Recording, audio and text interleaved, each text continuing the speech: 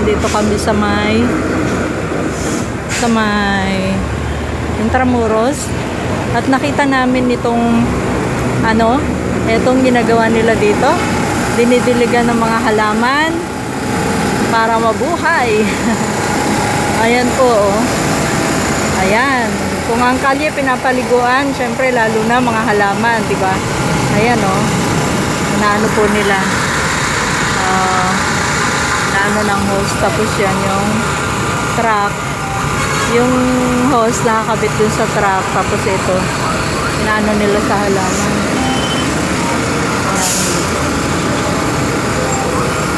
Yan, oh. Bagong ligo na naman. Naliligo mga halaman, oh. Parang ano, parang feel, feel nila yung, feel ko yung tuwa ng mga halaman dahil sila ay, ano, ah, naliligo. Kumbaga, umiinom pati. Sundan natin yung nag-hose. Miguel, naubos na yata ang tubig ah. Yan, dito po kami guys sa may Intramuros. At ato, merong monumento dyan. Di ko nabasa kung sino yung monumento na yan. Ayan o. Ayan.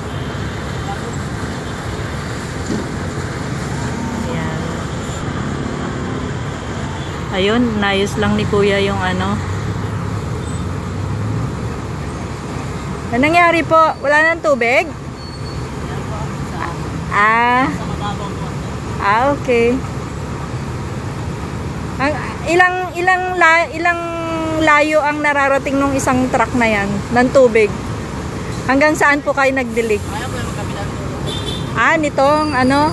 Anong tawag ba sa kalsada na to po? Anong tawag sa kalsada na to? Ah, okay. Bonifacio Drive. Ito po, along Bonifacio Drive pala ito.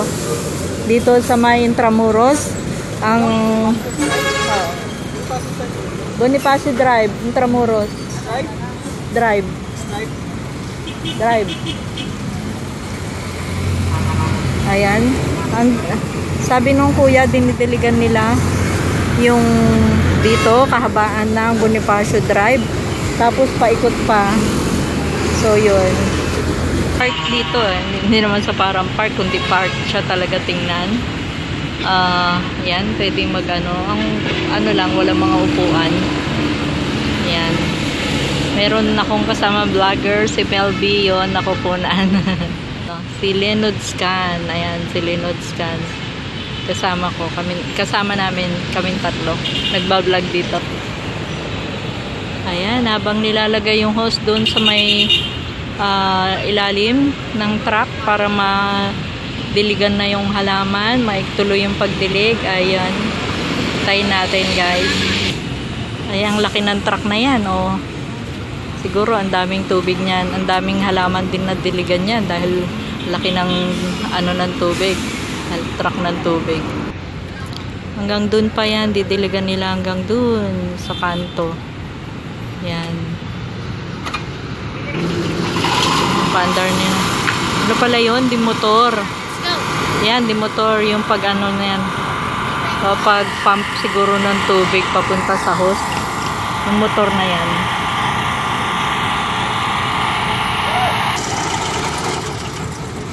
Anong purpose ng motor? Anong purpose niyan? Sir?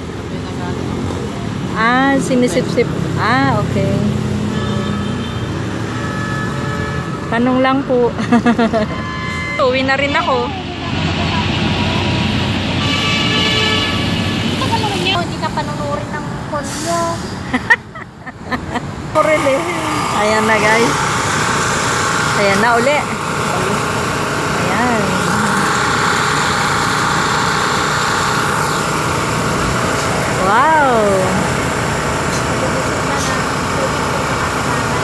maligo na, iinom pa mga halaman.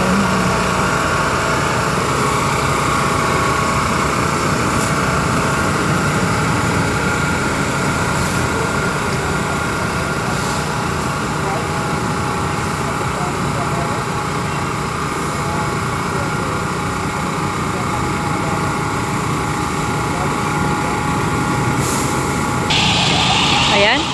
Parang ang sarap ma dyan sa host na yan para maligo. Kasi ano eh, oh. Di ba? Parang bata lang na maglalaro dyan sa may host. Ayun. Hanggang kalayuan, naabot ng host ng tubig. Ayan, oh.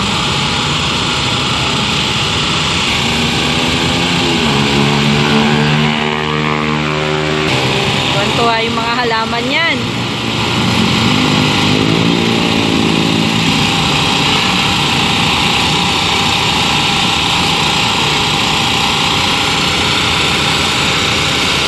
Parang, ano, alam nyo, napaka, ano talaga dito sa Maynila. Pag umikot ka lang, ang daming makikita mo na ah, ginagawa, ganyan, katulad niya, yung mga halaman, di natin nakalain, talagang alagang-alaga nila ito. Umagat hapon. Nabalitaan ko na to, pero ngayon ko lang napatunayan na aha, pati pala hapon din ay dinidiligan yung mga halaman dito. Kaya naman, ano, kahit tag-init, mukha pa rin silang fresh. Mukhang hindi naninilaw yung mga dahon nila. Ayan oh.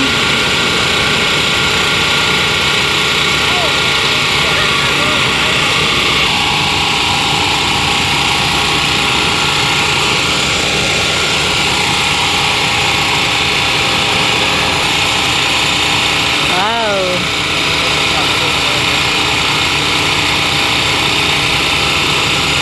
Galing ni Kuya. Sanay na sanay na mag ano, mag dilig ng halaman. Para lang naglalaro eh, no? Kung makakapagsalita lang mga halaman na yan, ay, thank you.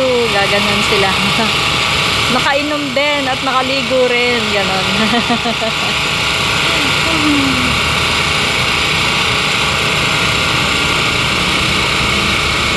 Ayan. Ayun lang guys, hindi na namin susundan hanggang doon sa maubos yung laman ng truck kasi ah, ano, mapapahaksada.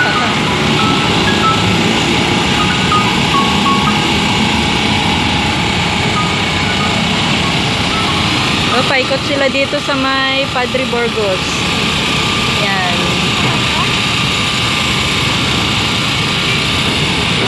Hanggang doon.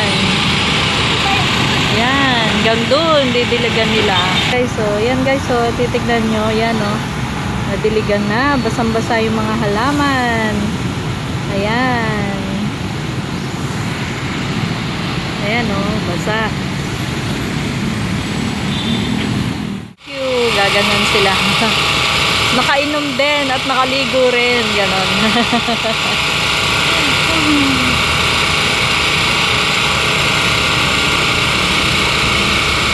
Ayan.